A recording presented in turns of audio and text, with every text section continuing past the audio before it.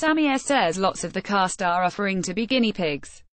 The thought of getting up close to someone else's sweaty feet would have plenty of people running for the hills, but not Corrie star Samia Longchambon, who is training to become a reflexologist. The 35-year-old, better known as Maria Connor in Coronation Street, tells us she hopes to be Y qualified by the end of the year.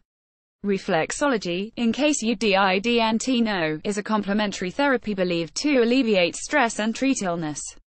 It involves applying pressure to various points on the feet and sometimes also the hands and ears, the theory being that different points correspond with other areas of the body.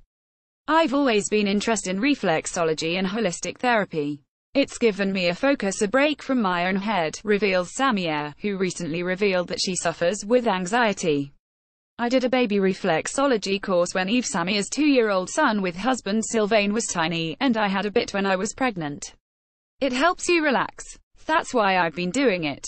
It's something different to focus on. I do it as a home study course and send my lessons off to be marked. I've got to do a practical at the end. And it seems Samia has no shortage of volunteers, revealing that many of her fellow cast members have offered to get their trotters out for a treatment.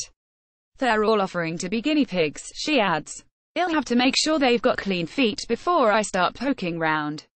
Samia isn't the only member of the Corrie cast learning a new skill.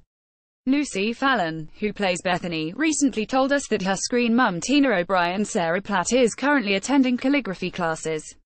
Meanwhile, away from Weatherfield, a host of other soap actors have secret skills. EastEnders Lacey Turner, who plays Stacey Fowler, upholsters chairs in her spare time, while Roxy Shahidi, currently on maternity leave from Emmerdale, where she plays Leyla Harding, is a qualified yoga instructor. Main pick, Ken Mackay, ITV, Rex, Shutterstock.